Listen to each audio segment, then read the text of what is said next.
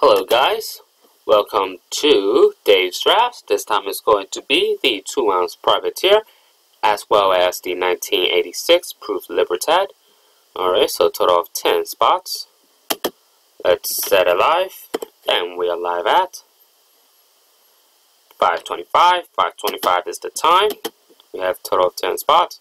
So let's find the list. We have Joe Campbell on spot 10 and as well as spot 1. Alright, so copy and paste. Two dice, no snake eyes, and we got a 6 and a 3, so that gives us 7, and we will start at 1052, uh, 525. Alright, first time we have Ronnie on top. Second time we have Mark on top. Third time we have Joe on top. Fourth time we have Joe on top. Fifth time we have Joe on top. Sixth time we have Ray on top. So far we've gone six times, 10 item on the list. Dice roll is a 7.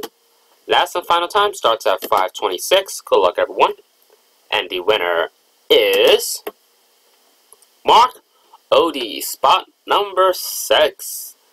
Congratulations, roll 7 times, 10 item on the list. Dice roll is a 7. So let's go down here, put it done. And we are finished at 526, 526, oops, 526 is the time here. Alright, thank you everyone for participating. Double check, 7 on the dice and 7 times.